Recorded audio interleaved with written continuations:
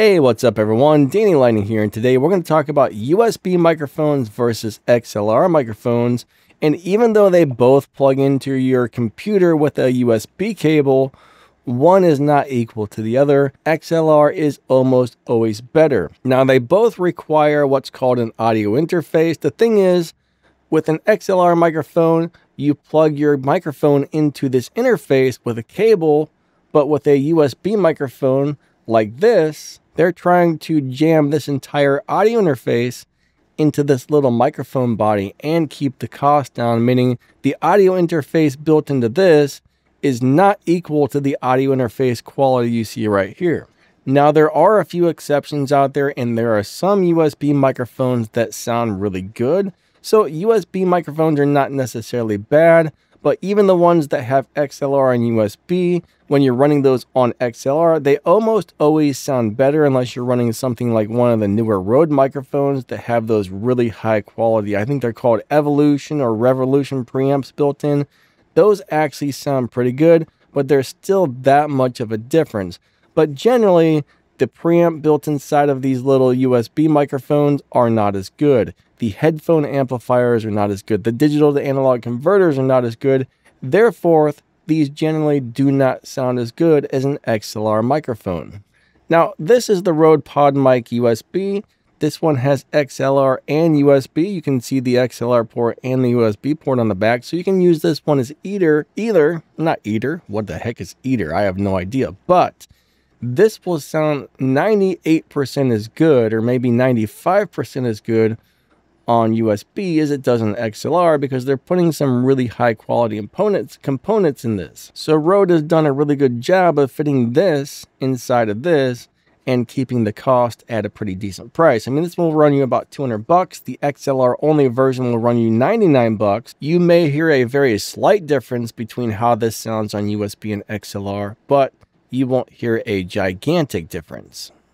Now, if you take something like this, which is also XLR and USB, this sounds about 900 times better on the XLR port than it does with the USB port. It was like a $40 XLR and USB microphone right here. And there's actually a ginormous difference on that particular microphone as to how it sounds on USB versus XLR. Over the last several years, the USB microphones have been getting better and better and better, so there's a lot of really nice sounding USB microphones out there, and some are getting very, very close to sounding as good as XLRs. If you're buying a USB microphone, I would definitely buy something that's came out within the last year or so because they've really been improving. Now, a lot of people think XLR is really complicated and that there's a lot to it.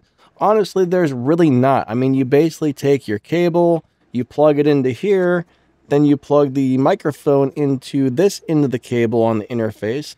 So now we plug this in here then once these are connected, this is a really, really bad example.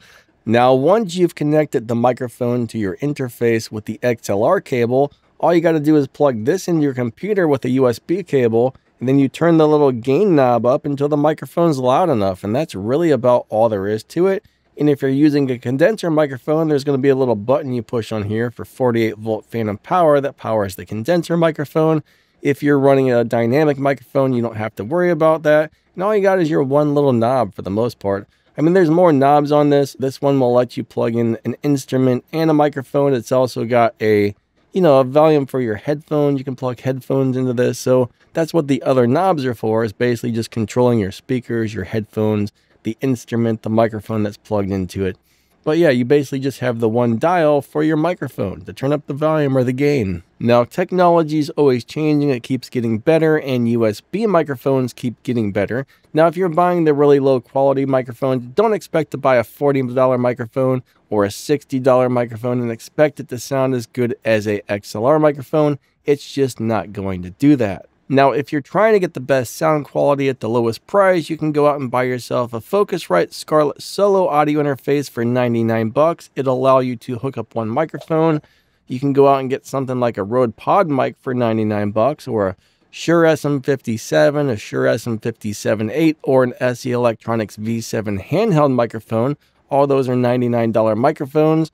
And if you pair these with the $99 Scarlett Solo and go out and buy, buy yourself a $30 XLR cable, you will get pro quality sound which is going to be superior to most $99 or $60 or $40 USB microphone. Or if you went out and you spent 99 bucks on this and something like $40 on this, you would have pretty decent sound quality. I mean, this is the Maono PD200X. This is a great sounding budget USB and XLR microphone. This one definitely sounds a good deal better on XLR than it does on USB, but it still sounds pretty decent on USB. Not as good, but you know, this one definitely sounds acceptable and nice on USB, but it still sounds way better on XLR, like most of these XLR and USB combination microphones.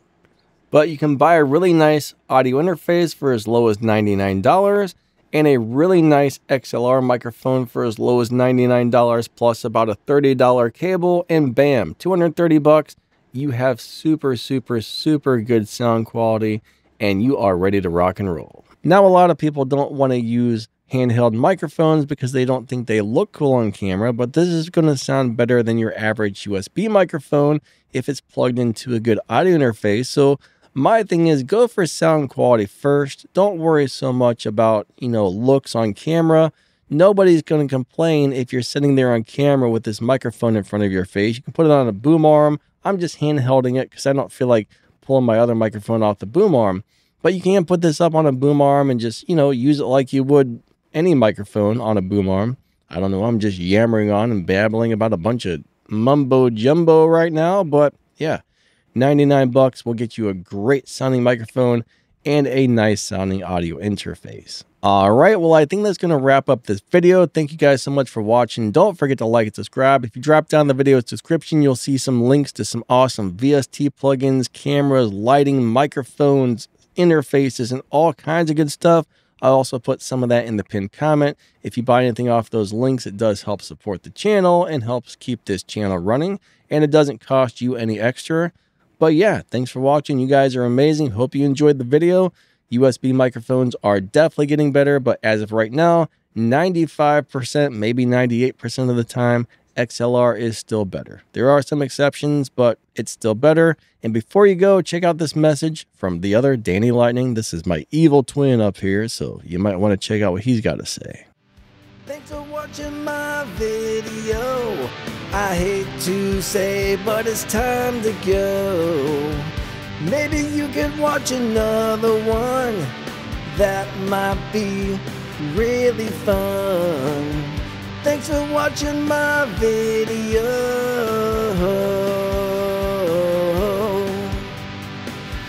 Thanks for watching my video. Thanks for watching you. Thanks for watching my video.